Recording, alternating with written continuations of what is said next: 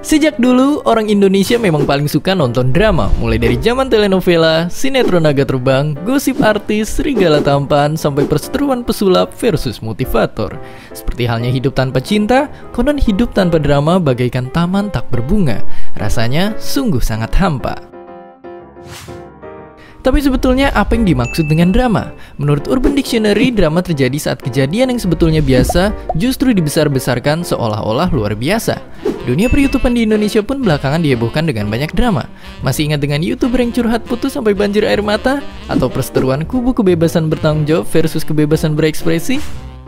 Meski kerap dihujani dislike dan komentar negatif, konten YouTube penuh drama terus saja mendapat jutaan view tiap harinya. Sedangkan konten yang lebih bermanfaat dilirik saja jarang. Jadi mengapa banyak orang sangat suka nonton drama? Sebagai manusia, wajar saja kalau kita suka drama. Berdasarkan teori uses and gratification, apa yang kita tonton adalah apa yang bisa memuaskan kebutuhan kita. Dibandingkan hidup kita yang cuma begitu-begitu saja, drama tentu saja terasa jauh lebih seru. Akhirnya, kita menonton drama agar bisa merasakan ketegangan dan keseruan, meski efeknya palsu dan cuma sesaat. Melalui drama, kita juga bisa merasakan aneka emosi yang umumnya tak kita dapatkan dalam kehidupan sehari-hari, entah positif maupun negatif. Emosi-emosi ini memicu otak kita melepaskan endorfin dan dopamin. Perpaduan kedua zat kimia otak ini dapat menciptakan efek-efek seperti mengurangi rasa sakit, menurunkan stres, dan meningkatkan rasa senang. Kombinasi yang nikmat, bukan? Tak heran banyak orang jadi kecanduan dengan efek yang ditimbulkan oleh drama.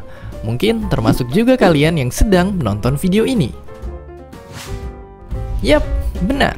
Kalian Berdasarkan studi para peneliti dari Microsoft, drama, terutama di internet, bersifat resiprokal. Artinya, selain ada yang bikin isu, harus ada juga yang menanggapi.